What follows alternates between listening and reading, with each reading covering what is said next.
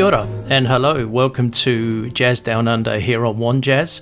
My name is Mark Robinson, broadcasting from a small village just outside Christchurch here in New Zealand. And I'll be bringing you music from the Antipodes, whether it's a producer, an artist still in New Zealand or still in Australia or working with artists around the world. You'll hear it here on Jazz Down Under on One Jazz.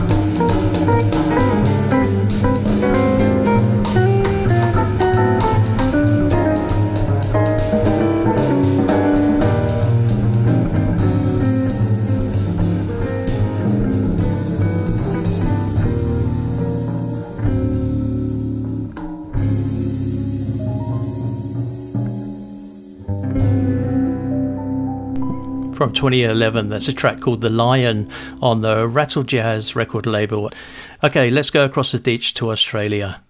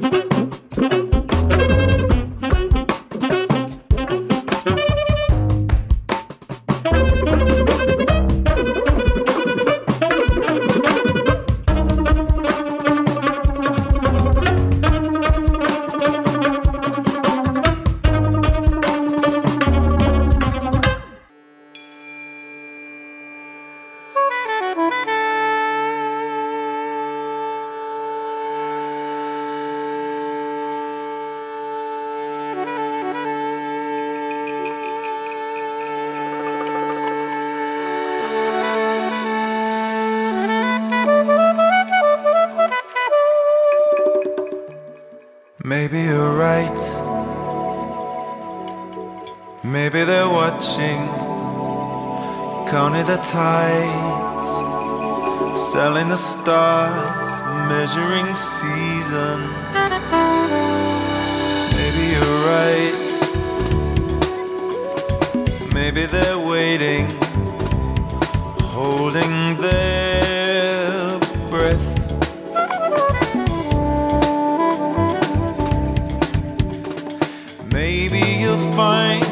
right where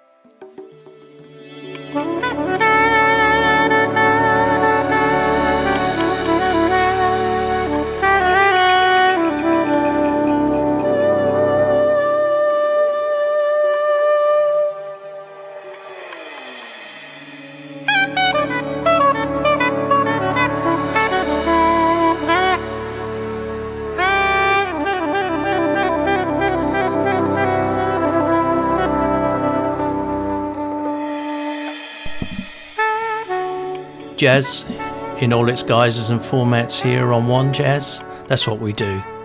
Nathan Haines on soprano saxophone, featuring the wonderful vocals of Tama Waipara out of Auckland in New Zealand from Nathan Haines' new album. And before that, we were over in Australia with a band called The Three Sounds. This is Jazz Down Under.